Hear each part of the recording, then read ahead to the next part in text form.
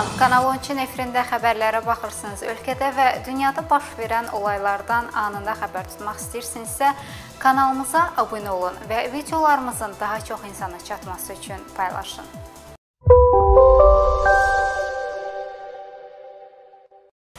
Bir neçə gündür ki, gündəmdən düşməyən deputat vəsiqəsini 300 min dollar müqabilində girov qoyan Rafael Cəbrayılov tənqidlərə, təzyiqlərə dözə bilməyib postundan imtina etməyə hazırlaşır.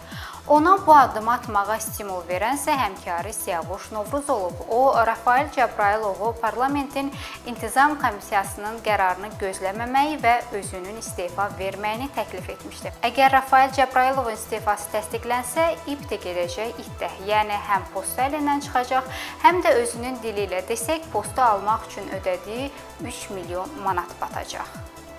Deputat Rafael Cəbrailov deputat vəsiqəsini girov qoyaraq külli miqdarda borc götürməsi, onun borclarının ümumilikdə bir neçə milyonu ötməsi barədə xəbərlər siyasi gündəmin əsas mövzularındandır. Rafael Cəbrailov əvvəlcə Fətəliyeva Təranə Rasim qızından 300 min dollar borc alması müqabilində deputat vəsiqəsini girov qoyub.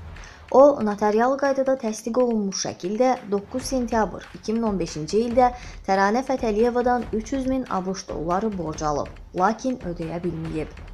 Buna görə də Təranə Fətəliyeva Abşeron rayon məhkəməsinə müraciət edib və məhkəmə 15 fevral 2019-cu ildə iddiaçının xeyrinə qiyabi qətnamə qəbul edib.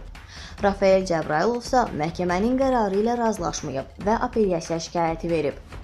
Apellyasiya məhkəməsi 1-ci instansiya məhkəməsinin qərarını qüvvədə saxlayıb. Bu barədə məlumatlar xəbər portallarında yayılar-yayılmaz o da məlum oldu ki, deputat Bakı Dövlət Universitetinin Hüquq fakültəsinin müəlliməsi Qatirə Nəcəfovadan 300 min dollar borc alıb və qarşılığında deputat vəsiqəsini ona girov olaraq verib. Mesaj buradan gelmeye sebep yok.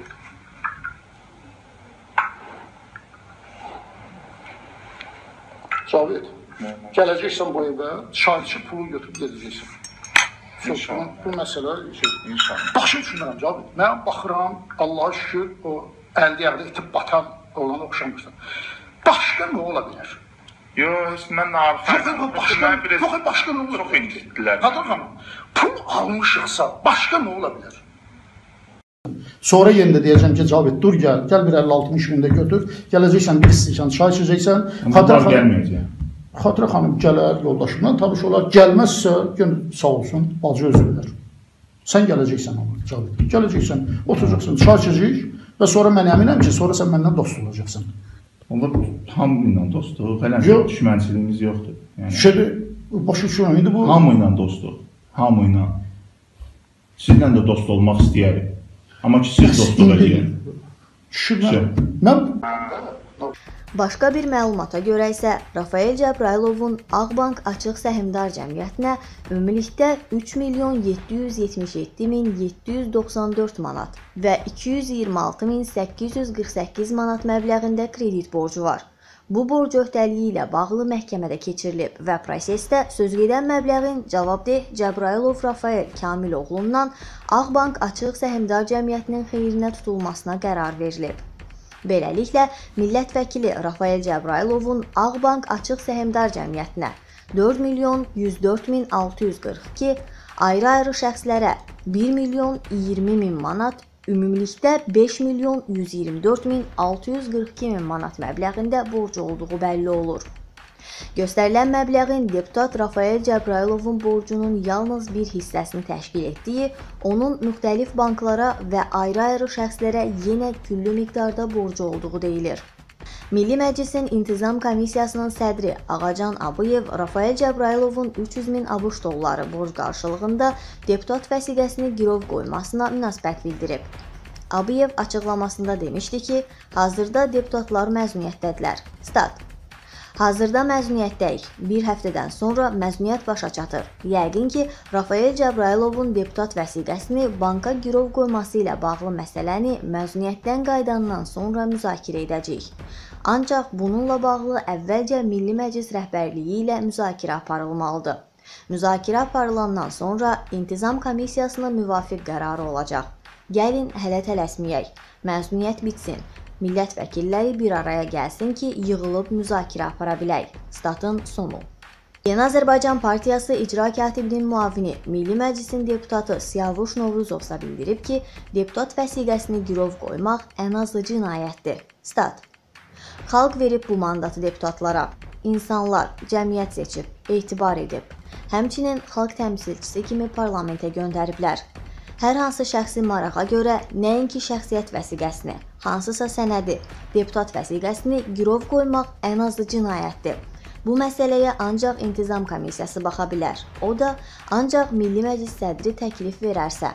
Bizim daxili nizamnaməyə görə parlamentin sədri bununla bağlı İntizam Komissiyasına müraciət edir. İntizam Komissiyası da baxır, araşdırır və əgər belə fakt ortaya çıxarsa, o zaman İntizam Komissiyası bunu parlamentə çıxardır. Parlamentin qərarı ilə Mərkəzi Seçki Komissiyasına göndərilir və deputat mandatdan məhrum olunur. Statın sonu. Siyavuş Novruzov həmkarını bu proseduru gözləməməyə və istefa verməyə çağırmışdı. Rafael Cəbrayılov isə özü açıqlamasında mətbuat konfransı keçirəcəyini və jurnalistlərdən onun açıqlamalarını geniş işıqlandırmağı xahiş etmişdi. Siyasi hakimiyyət və mənsub olduğu partiya Rafael Cəbrayılovla bağlı artıq qərar verib və onun deputat vəsiqəsini girov qoyaraq borc almasını bağışlamaq fikrində deyil. Gələn həftə Milli Məclisin payız sessiyası başlayacaq. Cəbrayılov deputat səlahiyyətlərinə xitam verilməsi üçün parlamentə müraciət edəcək. Diqqət etdinizsə, Siyavuş Novruzov da ona məhz bunu təklif etmişdi.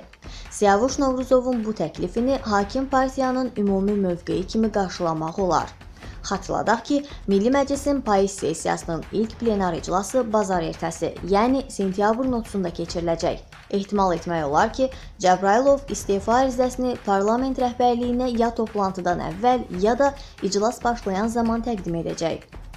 Onda qeyd edək ki, Kanal 13 Rafael Cəbrayılovla bağlı ilk xəbərləri tirajlayıb və görüntüləri yüz minlərlə insan izləyib. Məsələ ilə əlaqədarsa Rafael Cəbrayılovun özündən münasibət öyrənməyə cəhdlərimiz baş tutmayıb. Deputat başına gələn bütün bu olaylarda qardaşı Elşən Cəbrayılovu günahlandırır. Məlumata görə onun külli miqdarda borca girməsinə səbəb qardaşının Türkiyədəki tikinti biznesi olub. O həmin pullarla İstanbul şəhərində Bəydüzü adlanan ərazidə hündür mərtəbəli binalar tikdirir. Millət vəkili Rafael Cəbrayılovun külli miqdarda borcunun yaranması qardaşı Elşən Cəbrayılovun Türkiyədə tikinti biznesi qurması ilə bağlıdır. Bu barədə məlumatı Yeni Sabaha Rafael Cəbrayılovdan şikayətçi olanlardan biri verib. Adının açıqlanmasını istəməyən şikayətçi bildirib ki, Elşən Cəbrayılov Türkiyənin İstanbul şəhərində Beydüzü adlanan ərazidə hündür mərtəbəli binalar tikir. Məlumatda deyilir ki, tikinti biznesinə yatırılan pullar Azərbaycandan ayrı-ayrı vətəndaşlardan alınan borclar və banklardan götürülən kreditlərdir. Elşən Cəbrayılovun Türkiyədə işlərinin necə getdiyi barədə dəqiq məlumat yoxdur. Lakin iddialara görə Rafael Cəbrayılov borclularla danışarkən qardaşını ittiham edirmiş. Bildirirdi ki, bu oyunları onun başına qardaşı açıb. Dünən sosial şəbəkələrdə 13 saylı cəza çəkmə müəssisəsinin rəisi Çingiz Yunisovun dustaqlara işgəncə verməsi ilə bağlı məlumatlar yayıldı. Məlumatlara görə o, məhbusları karserə salıb qandalla asır və ya çarmıxa çəkirdi. Penitensiar xidmət cəza çəkmə müəssisəsinin rəisinin dustaqlara işgəncə verməsi ilə bağlı yayılan məlumatlara münasibət bildirib ictimaiyyətlə Əlaqələr şöbəsinin rəisi Mehman Sadıqov xəbərləri təqzib edib və heç bir cəza çəkmə müəssisəsində dustaqlara işgəncə edilmədiyini deyib.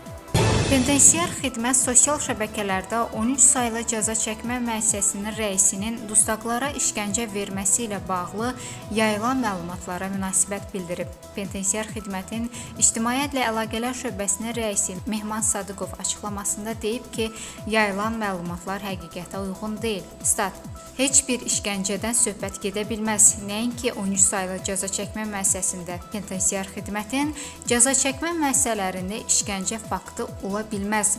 Bu çox absurd iddiadır. Hər bir cəza çəkmə müəssisəsində qaynar xətt var. İşgəncəyə məruz qalan dustaq varsa, o qaynar xətlə nəinki penitensiar xidmətə, daha yuxarı instansiyalara da müraciət edə bilər. Ora gələn müraciətlər dərhal yoxlanılır. Yenə də qeyd etmək istəyirəm ki, penitensiar xidmətin heç bir cəza çəkmə müəssisəsində işgəncədən söhbət gedə bilməz. Statın sonu. Qeyd edək ki, sosial şəbəkələrdə 13 saylı cəza çəkmə müəssisəsinin rəisi Çingiz Yunisovun dustaqlara işgəncə verməsi ilə bağlı məlumatlar yayılıb.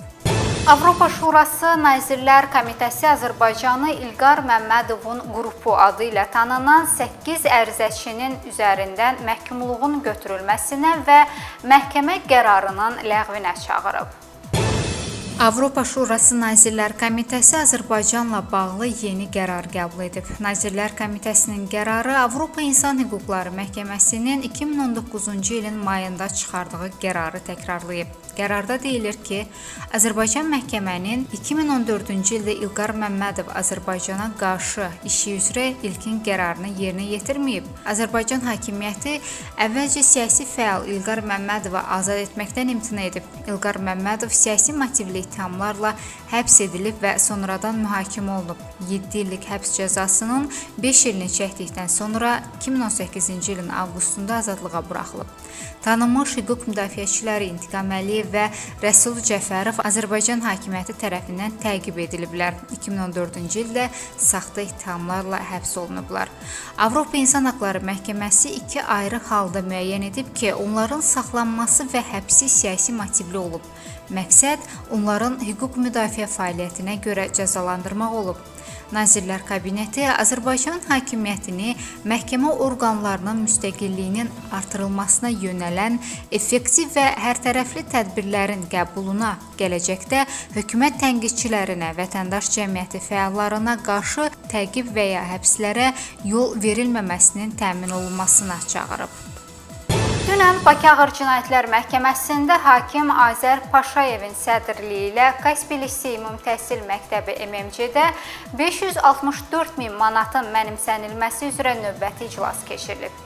Təqsirləndirilən Azərbaycan Prezidentinin ictimai-siyasi məsələlər üzrə köməkçisi Əli Həsənovun xanımı Kaspli Liseyinin rəhbəri Sona Vəliyevanın məhkəməyə çağırılması və dindirilməsi ilə bağlı vəsatət qaldırıb. Dünən sentyabrın 27-sində Bakı Ağır Cinayətlər Məhkəməsində Kaspli Lisey Ümumi Təhsil Məktəbi MMC-də 564 min manatın mənimsənilməsi üzrə növbəti iclas keçirilib. İş üzrə müttəhimlər liseyin keçmiş mühasibləri Tural Məmmədov və Fərahim Möhbalıyevdir. İclasda hər iki müttəhimin vəkilləri liseyin təsisçisi Azərbaycan prezidentinin ictimai-siyasi məsələlər üzrə köməkçisi Əli Həsənovun xanımı Sona Vəliyevanın məhkəməyə çağırılması və dindirilməsi barədə vəsatət qaldırıb.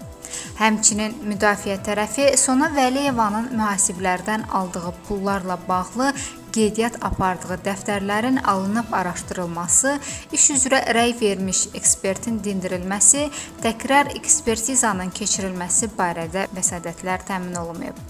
Təqsirləndirilən Tural Məmmədov məhkəməyə etiraz edib və birdəfəlik hökmün oxunmasını tələb edib deyib ki, onsuz da araşdırma aparılmır.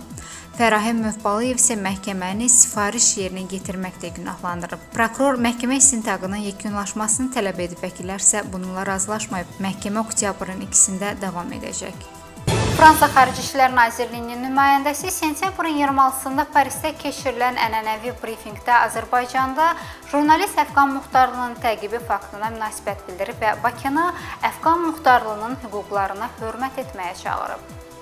Fransa Xarici İşlər Nazirliyinin nümayəndəsi sentyabrın 26-sında Parisdə keçirilən ənənəvi brifinqdə rəsmi Parisi Azərbaycanda jurnalist Əfqan Muxtarlının təqibi faktına münasibət bildirməyə çağıran Sərhədsiz Reportyorlar Təşkilatının müraciətini şərh edib. Fransa bütün dünyada mətbuat və fikir ifadə azadlığına sadiqdir. Sentyabrın 16-sında ATƏT-in Varşavada keçirilən konfransında Avropa İttifaqının bəyanatında qeyd edildiyi kimi Fransa və onun Avropadakı tərəfdaşları jurnalist Əfqan Muxtarlının işini diqqətlə izləyir. Fransa Azərbaycan hakimiyyətini Muxtarlının hüquqlarına hörmət etməyə çağırır deyə Xarici İşlər Nazirliyinin nümayəndəsi bildirib. Prezident İlham Əliyev Azərbaycanda mərkəzi bankçılığın yaranmasının 100 illiyi münasibəti ilə sərəncam imzalayıb. Sərəncamla Azərbaycan Mərkəzi Bankının idarə heyətinin sədri Elman Rüstəmov birinci dərəcəli vətənə xidmətə görə ordenlə təltif edilib. Prezident İlham Əliyev Mərkəzi Bankın əməkdaşlarının təltif edilməsi haqqında sərəncam imzalayıb. Sərəncamda qeyd edilir ki, Azərbaycanda mərkəzi bankçılığın yaranmasının 100 illiyi münasibəti ilə və bank işinin inkişaf etdirilməsindəki xidmətlərə görə Azərbaycan Respublikası Mərkəzi Bankının əməkdaşları təltif edilsinlər. Təltif olunanların arasında Azərbaycan Mərkəzi Bankının idarə heyətinin sədri Elman Rüstəmov da var. O, birinci dərəcəli vətənə xidmətə görə ordenlə təltif edilib. Ukrayna Xarici İşlər Nazirliyi vətəndaşlarına Azərbaycanın işğal altında olan Dağlıq Qarabağ bölgəsinə qanunsuz səfər etməmələri barədə müraciət edib. Müraciətdə Qarabağ bölgəsinə qanunsuz səfər edən hər bir Ukraynalı Azərbaycanın qanunvericiliyinə əsasən inzibati və cinayət məsuliyyəti daşıyacağı deyilib. Ukrayna Xarici İşlər Nazirliyi vətəndaşlarına Azərbaycanın işğal altında olan Dağlıq Qarabağ bölgəsinə qanunsuz səfər etməmələri barədə müraciət edib. Müraciət Nazirliyin saytında dərc olunub. Müraciətdə deyilir: Ukrayna Azərbaycanın ərazi bütövlüyü və suverenliyini birmənalı olaraq dəstəkləyir. Azərbaycan dövlətinin icazəsi olmadan Dağlıq Qarabağ bölgəsinə qanunsuz səfər edən hər bir Ukraynalı bu ölkənin qanunvericiliyinə əsasən inzibati və cinayət məsuliyyəti daşıyır. Bax belə, bu günlük və bu həftəlik bizdən bu qədər. Növbəti həftədə görüşmək ümidi ilə hələlik